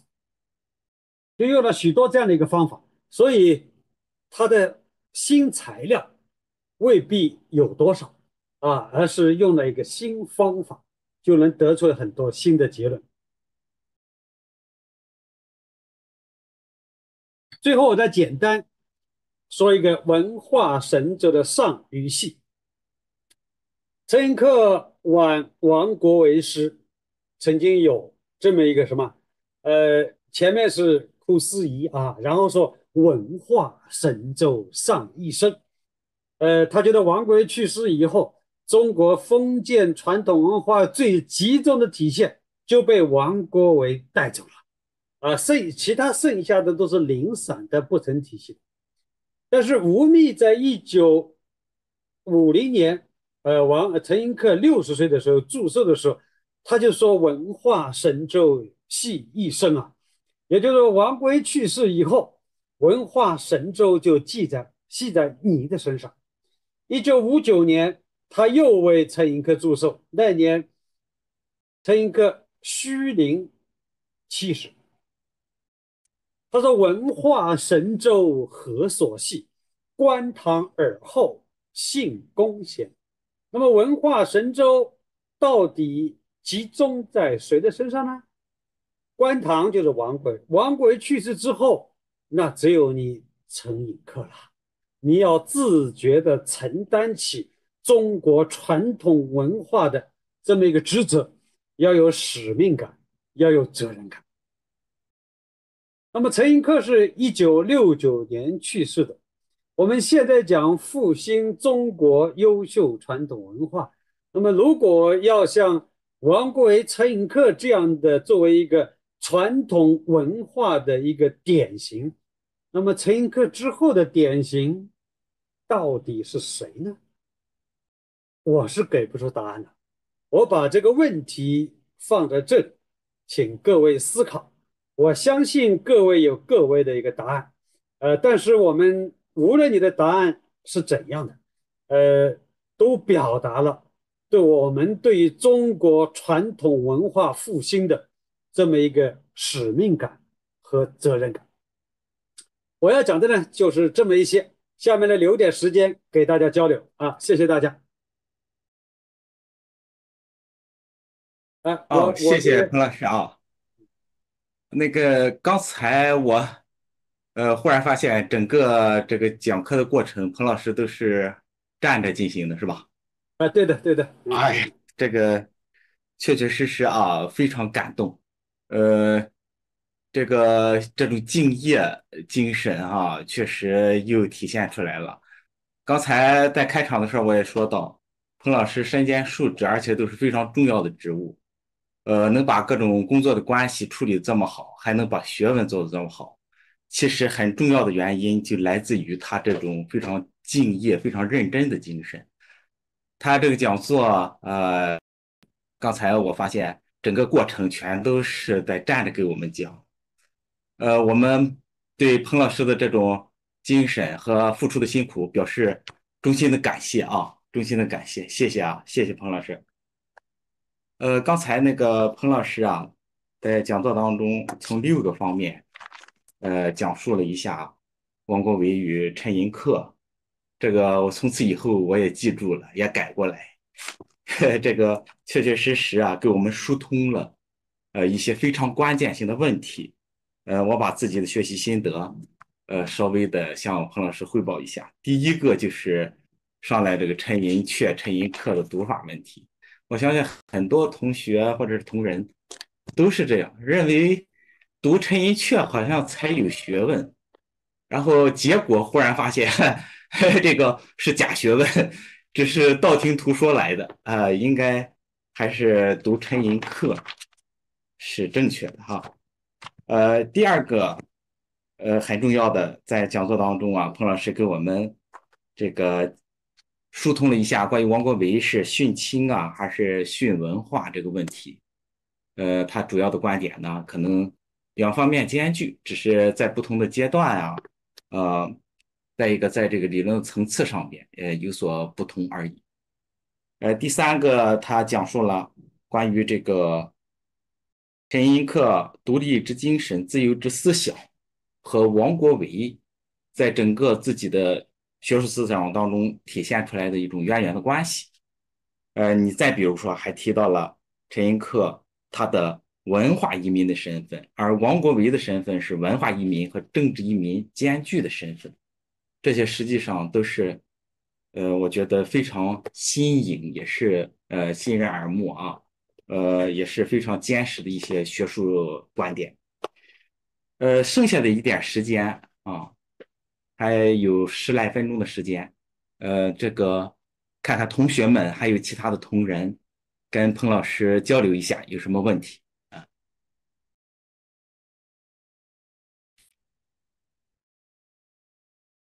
呃，彭老师在那个留言区有一个。老师还是同学的问题，哎，哦，这个他说，呃，青年怎样学习才能把中国的优秀传统文化理顺？呃，王国维这样的人才可人才可培养吗？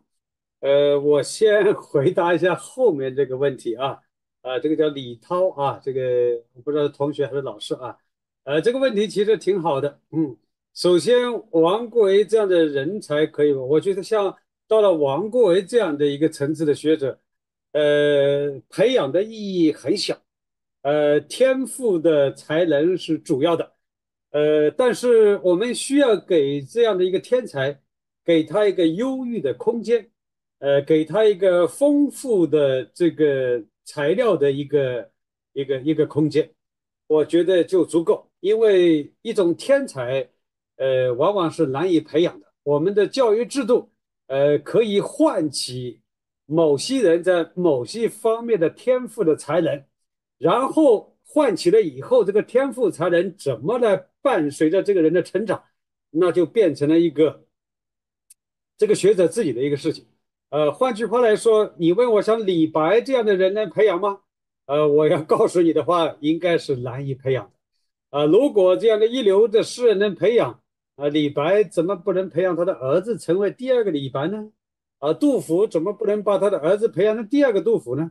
啊，原因就是因为真正的极高的天赋和天赋的才能，呃，我们只需要，呃，如果说我不是我这个，我们是代表了我们的教育制度啊，教育制度或者我们的学校教育是做一个引导和唤醒，呃，换句话来说，你没有这样的天赋，怎么引导，怎么唤醒？也没有他，啊，所以我们，呃，这个我们在中大有诗词的一个一个班啊，来教学生写诗词，呃，你说学生的诗词，哪怕你再努力，没有天赋，你大概也只能写到六七十分的诗歌。假如说你要写到九十分以上的诗歌，老师只是来教教你诗，能让你关注诗，让你知道一些诗词的基本的格律。然后明白这些以后，要做大的质变，那都是你自己的事啊。所以我觉得像王国维这样的人才，从本质上来说不可培养，只能发现啊，只能发现。那么青年怎样学习才能把中国优秀的传统文化理顺？呃，这个题目就比较大了啊。首先，传优秀的传统文化非常的丰富啊，文学、历史、哲学啊等等。都有各个方面，呃，要理顺这些优秀传统文化，我我觉得还是很多的著作啊，我们基本理顺了，比如说这个中国哲学史啊、中国通史啊、中国文学史啊，啊，我想大概还是把优秀的传统文化理顺的。那么我们在接受的同时，我们还要丰富、完善、提升，呃，再度发现传统文化的精髓。所以学习。如果加上创造性，那么这样的学习可能效果就更好啊！是这个是对于李涛同学的一个回答。好，这个下面一个叫深思叶啊，呃，与王国维这样寻文化的学者相反的，比如新文化运动的学者们，应该怎样评价呢？王国维之死是否可以看作是？啊，这里没有完啊！哎，为什么没有完呢？哦，在这啊。呃，王国维之死是否可以看作是时代局限性的牺牲品？呃，新文化运动的学者跟寻文化的学者，呃，是不是相反？呃，首先这是一个问题。呃，据我所知。王国维对于新文化的排斥，呃是比较明显的，啊是比较明显的，呃，但是他对新文化的排斥是对于封建文化形成，呃对立的文化他才排斥，呃，他有的对传统文化的坚守也有不可思议的地方，比如说王国维、陈寅恪这两个人这一辈子都是写的繁体字，都是要求竖排的。所以，北京大学办的这个国学季刊，还叫国学丛刊，忘掉了啊。然后胡适呢，就千约万约约到了王国维的稿件，然后青阳出来请王国维校对，王国维一看是横排的，啊，就不高兴，说你这个这个，呃，我的文章怎么能横排呢？你横排我就不在你那发表，我要把这个这个文章，呃，我要把我的文章抽回来。所以你就可以看出。他们对封建文化的传统文化的坚守，呃，并不都是值得鼓励的。再比如陈寅恪曾经说过：“我的著作要印行，必须是繁体和竖排的。”以至于有些选本选的是各家的著作，选到陈寅恪的著作的时候呢，只能纯目。为什么呢？因为他反对简体横排。这本书其他的都是简体横排，你也不能把陈寅恪一个人。繁体竖排啊，所以这是传统文化的坚守者，呃，他们坚守的，呃，其实也有局限。那么新文化运动的学者们，他们对传统文化的坚守也有值得肯定的地方。比如说胡适，他的《藏事集》，它里面很多的新诗，他自己承认，啊，都是来自于传统的词牌。啊，来自好多很多的词牌，他的胡适甚至说的更透彻。他说我的很多的新诗不过是刷洗过的旧诗，也就是说新诗其外，旧诗其里。所以新旧文化它不是一个绝对的，呃，泾渭分明的两派文化，而是新中有旧，旧中有新。所以王国维之死是否是可以看作是时代局限性的牺牲品？呃，我不大主张把一个人的自杀看作是一种牺牲品，因为自杀是一个人的自由的追求。呃，牺牲品往往是有一种外在的影响，而有的自杀是一种主动的追求。呃，所以王国维之死是不是看作时代局限性的牺牲品？呃，在我看来，不能这样看待。呃，我首先又要推荐你看自己看我的文章啊。这个因为关于王国维，我我关注的时代比较久，呃，读的资料比较全。呃，今年的清华大学的学报啊，第二期，呃，就有一个罗振玉与王国维晚年交恶讨论。那么，对于王国维致死的一个其中的一个重要的原因。我认为已经说的比较清楚，啊，所以在这里我就不再展开。你可以查一下清华大学学报今年的第二期。好，这个下面，呃，下面不是问题，下面是李涛的，哈哈哈哈！谢谢老师啊，这么开心啊！好，下面深圳大学的 陈玉莲。在当今社会普遍以工具价值作为评判标准的背景下，请问你做学问，尤其是做古代文学的学问，如何促进社会的进步发展呢？陈寅恪先生所做学问是为了坚持真理、坚持独立。您觉得当下我们该如何保持学术的独立自主呢？嗯，呃，这个问题，呃，我看名字，呃，是一位女性。呃，但是这个问题很有攻击性啊！我喜欢这样的问题。呃，首先，嗯，这个是观念先行，在当今社会普遍以工具价值作为评判标准的背景下，你首先 确定了一个，呃，一个一个思想，一个主题先行，所以你才会有后面的问题。首先，我不认同当今社会普遍以工具价值作为评判标准，而我不这样认为。因为我们以这个思想、学术本身的作为评判标准，呃，这个还是很多场合都有的。那么，做古代文学的学问如何促进社会的进步发展呢？呃，古代文学的学问，第一个是为了了解古代文学的发展的实际，以及他们发展的源流和规律。那么，了解的这个规律，是为了来促进。当代文化的一个发展，呃，没有一种文化可以割裂传统，当代的文学跟当代的文文化也无法与传统的这么一个文学跟文化割裂开来，所以学古代文学促进社会的进步发展，呃，这个作用一定是有的，呃，不过呢，这个作用也许不会那么明显，它需要潜移默化。呃，做古代文学的学问对这个社会的影响是非常明显的。呃，你只要去读一读中央的各个重要场合的这些报告，你就能读到许多古代文学和古代文论的句子。啊，那么古代文论和古代文论的句子都已经出现在我们的政治报告里面，而我们的政治对于社会的促进，那一定是有影响的。所以，所以至于说古代文学对社会进步，能产生多大的影响？这是一个学术的问题，要好好的研究。呃，然后当下我们应该如何保持学术的独立自主呢？我觉得，其实我们追求学术的，呃，我们去求证，我们抱着求证的心态去做研究学术，我觉得就是一定意义上的独立自主。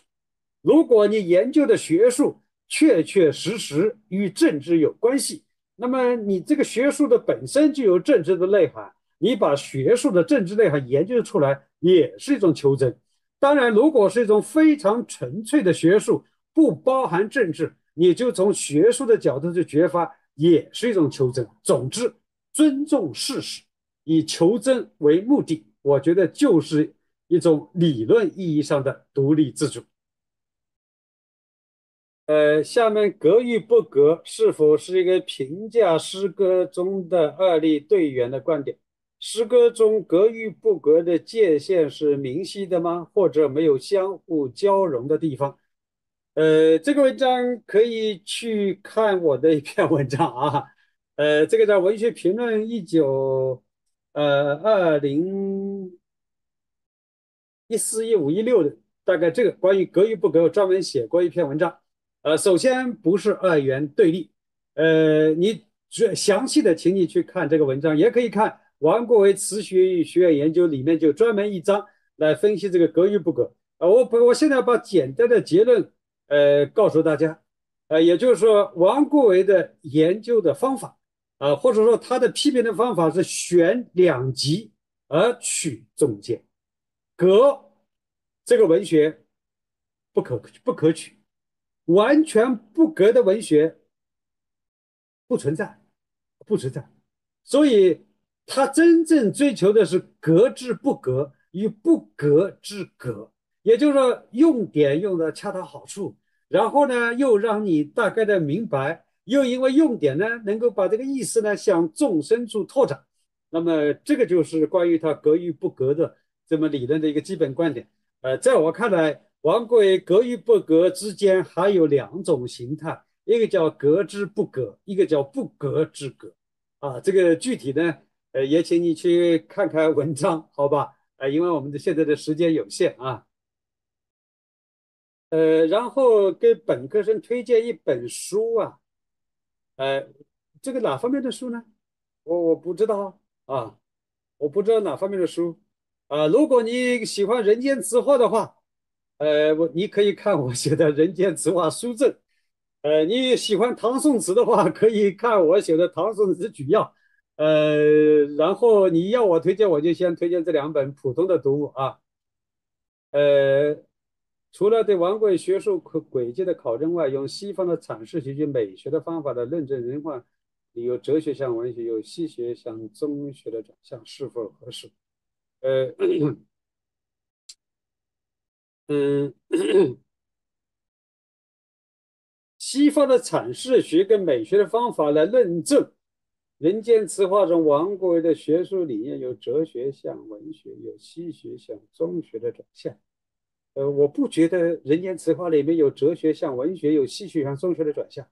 呃，我觉得《人间词话》是一本以中国文化为本位，参注于西方文学和美学的理论术语来佐证的一本由论词到论诗到论人到论社会的这么一个过程。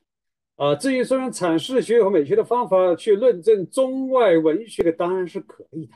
啊，当然是可以的。我我希望大家少一点先入为见。呃，我我在讲《人间词话》的时候，我曾经说过，我不大能够接受说《人间词话》是一本中西理论交融的一种产物。你如果去读读他的《人间词话》手稿，前面三十一则，前面三十则都是在传统的诗画、词画、文化里面来兜圈子，到了三十一则才涉及到词话，才涉及到境界。而境界在清代的诗画词画里出现的频率是相当之高的，啊，而王国维又对于中国的这个，你看《静安藏书目》就行了，里面的这些中国的这些文人著作都藏有很多的，啊，所以，呃，王国维的理论的本源来自于中国的古典，但是他毕竟学过，呃，西方的哲学美学，所以当他写到三十一则，把境界说挑出来以后。他逐渐就有了一种以境界作为核心，来不断的丰富和完善他体系的想法。这个时候，这种体系跟逻辑的观念就影响到王国维对境界说体系的一个构建。啊，我的理解是这样的。这个是同西桥的一个问题啊，高金辉。王贵研究方面目前还有个拓展的空间，尤其是您的著作，书人在人间词话研究方又该如何选择新的增长点？呃，我不认，我不认为一种著作，呃，能够研究到尽头，尤其是经典。呃，什么叫经典？常读常新。呃，其实我在差不多十年前出版的《人间词话》书证之后，呃，我现在读《人间词话》，我也还会。陆陆续续的会有一些新的看法，虽然主体没有大的变化，但是在局部有深化、有细化。呃，所以研究如何选择新的增长点，呃，我觉得可以来做一做人间词话的中国古典的渊源。呃，我做了关于这个古典的渊源，我做了一些基本材料的整理，呃，但是我没有精力去做。啊，你比如说周记，你比如说刘熙载，呃，这些都是对于王国维的哲学思想产生重大影响的著作。那么他如何的在王国的体系里面发生呃重大的影响，这个需要深入的研究。你再比如说西学对于王国维人间词话的影响。呃，我也觉得有影响，尤其是他的呃手稿里面，比如主观之诗人、客观之诗人啊，啊抒情诗啊、叙事诗啊，这些概念都来自于西方。呃，虽然王国在发表的时候，呃，删掉了很多，尤其是一九一五年《圣经时报》本的时候，删掉了更多。但是王贵毕竟有过这种思想，那么有过这种思想，他在王贵的思想里面停留多久，在停留的每一个时期产生了怎样的作用，我觉得还可以研究。呃，另外，王贵的哲学确确实实，王贵是从哲学到文学，呃，所以他的诗词也更多的把哲理融入到诗词里面。如果他不是先学哲学，他的诗词的特色也不一定会形成。所以，他如何从哲学一步一步的走向文学？呃，我虽然也写过文章，但是我觉得空间也还是有。还有就是《人间词话》里面的一个现实意义。呃，或者说他对那个时代的一个整体性的一个考虑，他的反叛精神，他的革命意识，我觉得也是可以考虑的。啊，因为《人间词话》作为一个在那个时代，他是一个孤独的思想者啊，因为他跟主流的词学，从王鹏义、朱祖谋、邝周颐，那是一个强势的主流阵营里，而王贵呢，是立于词坛边缘的一个人的呐喊。但一个人的呐喊也会有作用，啊，也会有作用，啊，所以我想怎么来衡量这么一个作用，我觉得也还是可以来考虑的。本老师给小学生推荐一本书吧，推荐《人间词话讲演录》啊，这个因为是个讲稿啊，呃，王贵的词有的句子我很，但整体感觉还不是第一流，呃，想请你评述一下王贵的词作，这个。呃，王贵的词我在呃文史知识连载了十二期，呃，在文艺研究也发表过，呃，也发表过专题的论文。呃，我也我不认为王国维的词，呃，是第一流的。我我我的感觉跟你一样，我认为不是第一流的。呃，但是他有强烈的创新意识，啊，他不是第一流的，是相对于词史发展。从词的本色这个角度来说，他不是第一流的，但是他自有他不可撼动的地位。不可撼动的地位就是他是在考虑人的本质和命运的时候，他把这种哲学的思考融入到他的词里面去。而这个哲学的思考融入到作品里面，虽然历代的词人都或多或少、或明或暗的有过这方面的努力。但是自觉的、大量的，并且有系统的融入到词里面去，我觉得王维是一个非常卓越的一个代表，啊，所以王贵词的评价应该从这个角度来说，是否受到时代限制呢？肯定受到时代限制，没有这个世界上没有任何一个人不受时代限制，呃，只存在受时代限制的大与小的问题。我回答完了。嗯，好的。那个时间不知不觉两个多小时过去了哈。呃，这个成员也是有三百多位啊。这个虽然现在应该是到了这个最后的，还有个别退出去的，最多的时候可能接近四百人哈，很壮观的一个场面。呃，谢谢彭老师站着给我们。讲述了整整两个小时的精彩的讲座啊，表示感谢啊，谢谢谢谢彭老师。我看那个杨院长可能是有话要说啊，下边把那个话筒给那个杨院长，让他说两句啊。呃，没有了，我是就是后后来结束了那边的会之后，我又回到这里来，正好赶了个尾巴哈，正好听听到这个彭老师讲第六个问题，但是很遗憾，他其实是只是。做了一个进一步的提问哈，就是说是呃没有完全展开，所以今天晚上的这场讲座我总体上是错过了哈，那个这是一个莫大的遗憾。当然了，今后还有我相信还有更多的跟彭老师进行交流和请教的机会，所以在这里呢，我主要也是呃代表我们汕头大学文学院，代表咱们这一期这个暑期班的全体学员，然后对彭老师表示衷心的感谢，好吧？还有在我们就是说是，嗯，嘉宾的这个这个平台上，还有我们文学院中文系的其他几位这个老师，嗯，今天晚上就是说是也特意来过来，就是说是这个听这个彭老师的讲座。其中可能有的是彭老师的这个吴昊就不用说了啊，是学生，然后玉英应该也是比较比较熟悉的，嗯，应该，嗯嗯，就是说要不要跟彭老师打个招呼，于老师啊？啊，于老师啊，于老师好啊，声音声音没开，叫你名字了，这个你也上来了啊，这谢谢你，谢谢你，嗯。对对，刚才好长一段时间网络有问题，然后又连上了。今天很开心。